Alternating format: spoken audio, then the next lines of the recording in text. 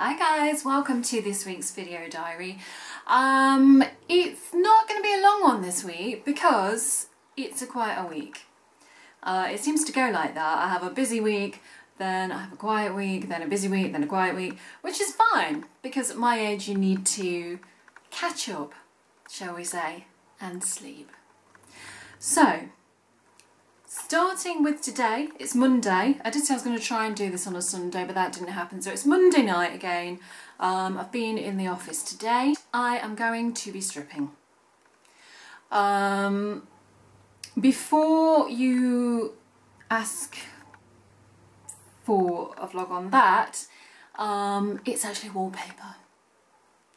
The intention is to do it anyway. Whether it gets done is another matter because the barbecue is on, it's been a really hot day and there's Prosecco and there's burnt things. So that might take over. Um, I was doing some stripping yesterday and um, it's an old house that I live in. It was built um, 90, late 1930s. Um, so I was really hopeful that when I took this wallpaper off, because it was behind a fitted wardrobe uh, that I've ripped out myself, uh, that um, there might be something behind this paper. And you know what there was? A hidden door. it wasn't really. Um, but what I found was somebody's writing. Yes? Underneath the wardrobes, you might remember me telling you this, I can't remember where I said it, but there was some um, toy soldiers and some Simpsons playing cards. So nothing that Drew Pritchard is going to be, you know, getting excited about. If you don't know who Drew Pritchard is, um, Salvage Hunters,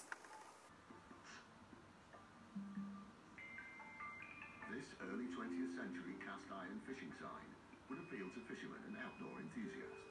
After a basic polish, it can be sold for £40.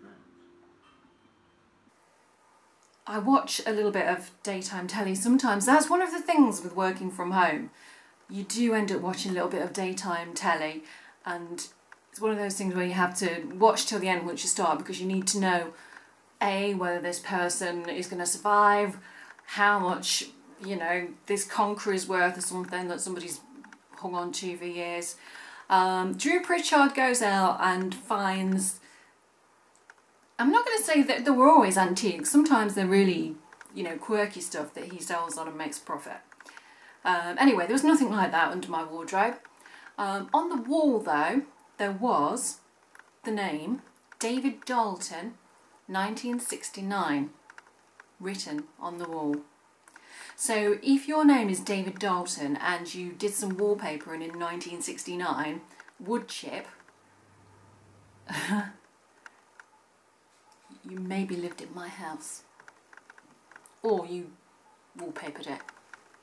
Anyway, David Dalton, where are you now? I've, I've gone all Radio Nottingham. Um, BBC Radio Nottingham, text your answer. Um, so yeah, that's what I'm doing. The bedroom is coming on really slowly. I am going to be doing a makeover type vlog at some point so you can see what I do to it but the house is just in chaos at the minute. There's stuff everywhere. Imagine emptying your wardrobes and not having anywhere to put it. That's what it's like at the minute. So, what I'm doing tonight, um, and rock and roll, I also need to go into the loft. You know, the excitement never ends. So that's tonight. Tomorrow, Tuesday, I am going to see the lovely Linda Hewitt. I love that lady, I really love her. She's a lovely lady.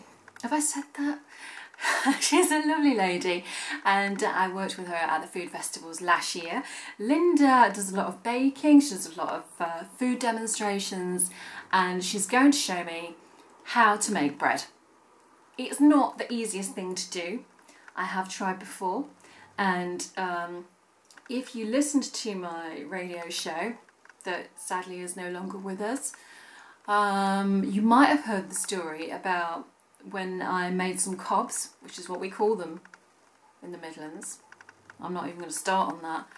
Um, I made some cobs, or you might call them rolls, Um, and I put them in my mum's porch. I'm going back years, I didn't just make them here and take them to my mum's and stick them in a porch. I was at my mum's then. And she had a deck chair in her porch at that time, and so I put the cobs on the deck chair, tea towel over them to what they call, if you watch Bake Off, prove. And my brother, bless him, came in, thought he'd have a sit down, sat on the cobs, and um, we told him obviously what he'd done. But let me tell you, those cobs rose like nobody's business. So he basically kind of, you know, sat on them in like a nest. Um, yes, we did cook them because I've had a tea towel over them. You know, and it was, it was the 80s I would have thought maybe. So, you know, different times. So yeah, anyway, I am um, meeting up with Linda Hewitt tomorrow and we're going to make bread. So I will post some pictures of what the bread looks like when we've done it on social media. So if you want to have a look at my bread, at my cobs, baps, buns, make sure you are following me on Facebook, that's Tanya Louise, or on Twitter, at Tanya Louise underscore. Um, I'm guessing that mine might not be, you know, Instagrammable. Um, so I don't know if they'll be on there. I'll put them on Insta stories maybe. So keep a lookout on there. So that's what I'm doing Tuesday. Wednesday, what am I doing? Wednesday I've got a meeting in the morning with a PR company. Uh, I'm not really sure what's happening from that. Um, Wednesday night, I think, I'm at a networking event. Thursday is a pretty free day, so I will be working from home, no doubt having a date with Drew Pritchard again. Um, Edd China, Wheeler Dealers. Edd China, I don't know if you've seen Wheeler Dealers. This is a similar kind of thing, you see. This is what draws you in because they buy an, an old car, they do it up and they sell it for a profit. They make it look really easy. Edd China, mechanic.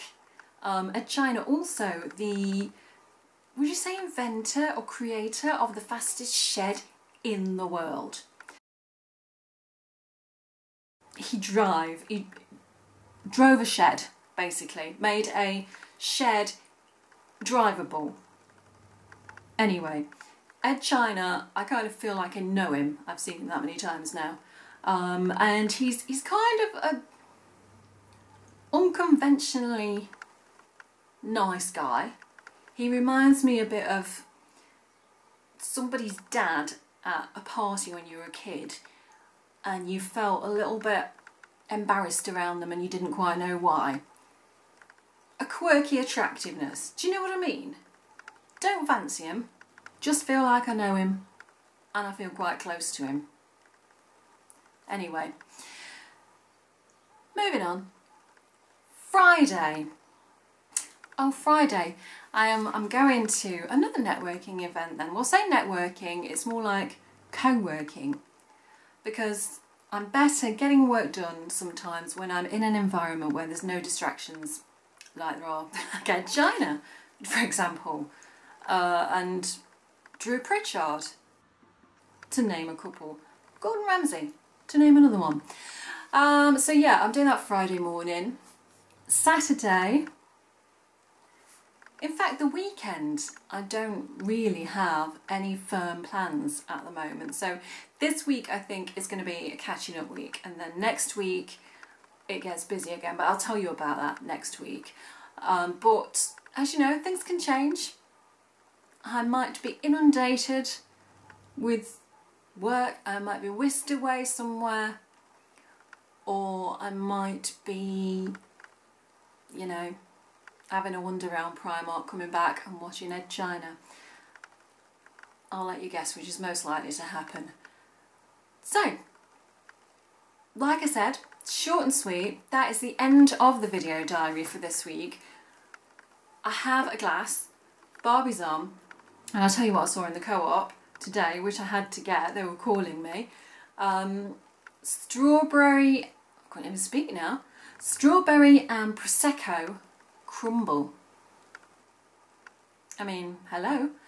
That I don't, I it sent me a message. I had to buy it, um, so I might be having that later.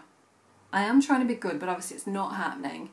Um, I say every week I'm going to be good, um, and it doesn't happen. And and because I'm doing more modelling now, I should be really trying to be good.